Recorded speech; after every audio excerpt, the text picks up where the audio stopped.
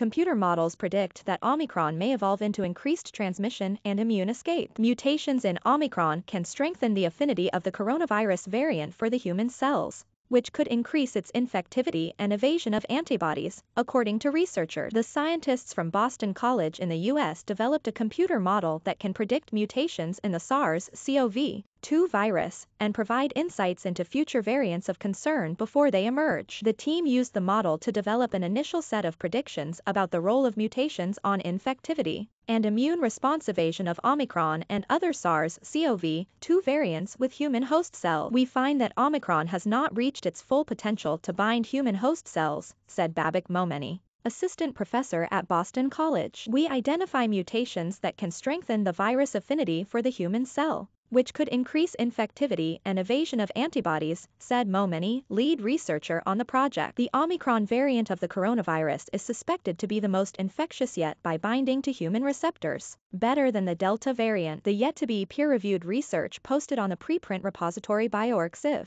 found that Omicron may have the potential to continue to evolve even stronger binding to increase transmission and infectivity. The spike protein of the coronavirus binds to a receptor on the host cells, called ACE2, which allows the virus to enter the cells and infect it. Also read, India's rising Omicron wave brings a grim sense of deja vu. Binding is the first step for infection, and several mutations in previous variants of concern have been shown to be important for increasing the spike's binding to human ACE2. We use a fully quantum mechanical model to theoretically assess how different mutations in the spike can contribute to its increased or decreased binding strength to human ACE2, said Momeni. The modeling shows that Omicron binds to receptor proteins stronger than the Delta variant, he said. The model predicts what mutations allow better binding to host receptors and better evasion of antibodies, the researchers said. Such mutations can potentially lead to a future variant of concern, they said. Having this knowledge from our model would help with readiness for detecting and preventing, as well as treating,